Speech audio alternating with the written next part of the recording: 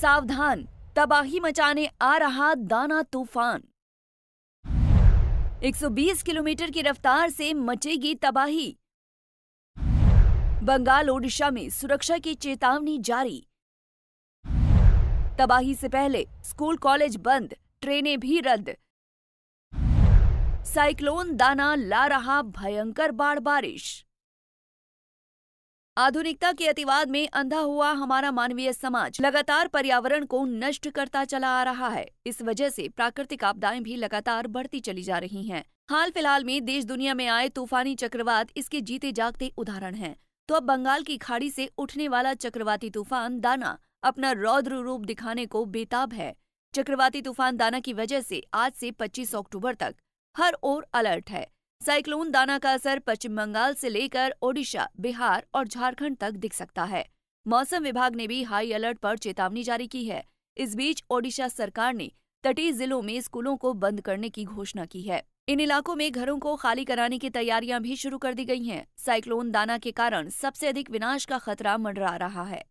ओडिशा के पुरी और पश्चिम बंगाल के सागर द्वीप में तूफ़ान का लैंडफॉल होगा।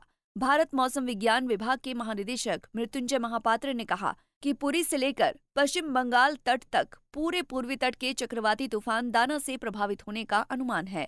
आईएमडी के मुताबिक बंगाल की खाड़ी के ऊपर बने गहरे दबाव के क्षेत्र के चक्रवाती तूफ़ान में तब्दील होने और 25 अक्टूबर की सुबह पुरी और सागर द्वीप के बीच उत्तरी ओडिशा और दक्षिणी पश्चिम बंगाल के तटों को पार करने की आशंका है। इस दौरान 100 से 110 किलोमीटर प्रति घंटे की रफ्तार से तेज हवाएँ चलेंगी, जो 120 किलोमीटर प्रति घंटा तक पहुँच सकती हैं। नॉर्थ वेस्ट वर्ड रह करके चौबीस ट्वेंटी अक्टूबर नाइट और ट्वेंटी अक्टूबर अर्ली मॉर्निंग का अंदर में, हमारा उड़ीसा वेस्ट बंगाल कोस्ट का, पूरी सागर आइलैंड का बीच में क्रॉस करने का चांसेस है। क्रॉस करने का टाइम में हमारा विंड का स्पीड रहेगा 100 टू 100 के एमपेज कास्टिंग में 120 के एमपेज तक। इसका प्रभाव में वेस्ट बंगाल में जो वार्निंग जारी किया है, उसमें भारी से अति भारी वर्षा का पॉसिबिलिटी है। एक्सट्रीमली हैवी रेनफॉल का भी पॉसिबिलिटी है। इसमें मेनली हमारा जो डिस्ट्रिक्ट है नॉर्थ साउथ चौबीस परगना ईस्ट वेस्ट मिदनापुर झारग्राम बांकुड़ा पुरुलिया कोलकाता हावड़ा हुगली मिली जानकारी के मुताबिक पश्चिम बंगाल में 24 और 25 अक्टूबर को पूर्व और पश्चिम मेदिनीपुर, दक्षिणी 24 परगना और झाड़ग्राम जिलों में एक या दो जगहों पर भारी से बहुत भारी बारिश होने की संभावना है।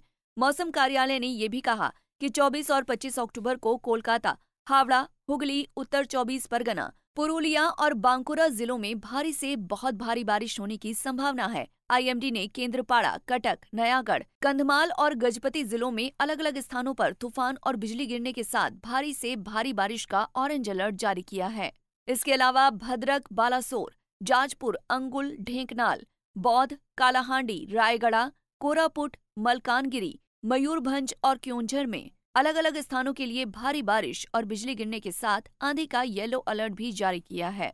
तो वहीं साइक्लोन दाना से लड़ने के लिए तैयारियों की बात की जाए तो ओडिशा सरकार ने लगभग 800 चक्रवात आश्रय केंद्र तैयार रखे हैं, जिनमें संवेदनशील इलाकों से निकाले गए लोगों को रखा जाएगा। अधिकारियों ने अब तक 250 चक्रवात आश्रय केंद्रों का दौरा किया है, जहाँ निकासी के बाद लोगों को रखा जाएगा। चक्रवाती तूफ़ान के कारण अलग अलग इलाकों से निकाले गए लोगों के लिए भोजन, पानी, दवा, बिजली और अन्य आवश्यक चीज़ों का बंदोबस्त किया गया है। 800 चक्रवात आश्रय केंद्रों के अलावा स्कूल कॉलेज में 500 अतिरिक्त अस्थायी आश्रय शिविर बनाए गए हैं।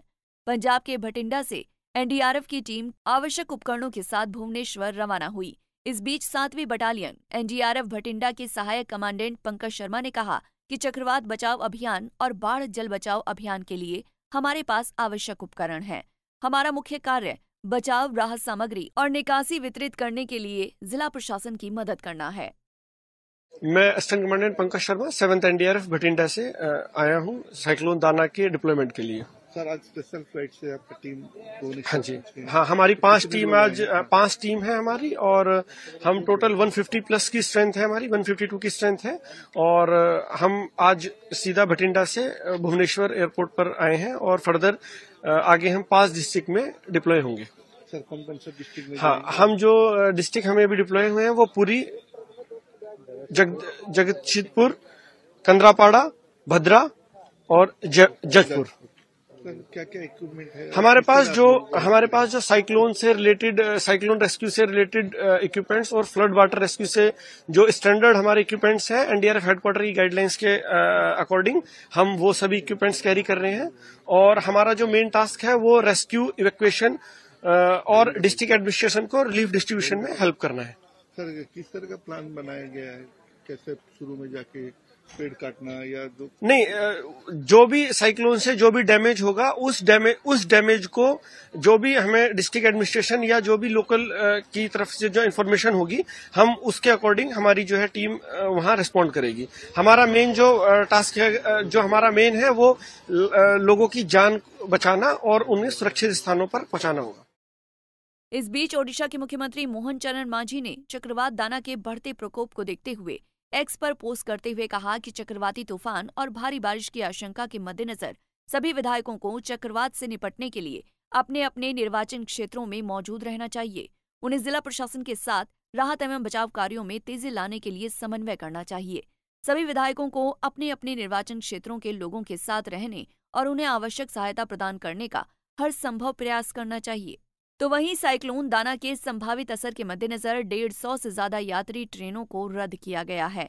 इनमें Kamakhya, Yesvantpur, AC express, Howrah Secunderabad Falaknuma express, Howrah Bhubaneswar Shatabdi express, Howrah Yesvantpur express और हावड़ा पुरी शताब्दी एक्सप्रेस सहित डेढ़ सौ से अधिक ट्रेनों को रद्द किया गया है। निरस्त ट्रेनों को अपने प्रस्थान बिंदु से 23 से 25 अक्टूबर को रवाना होना था।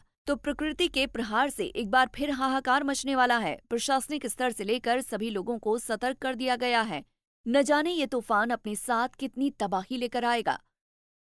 Bureau report, Punjab Kesari TV.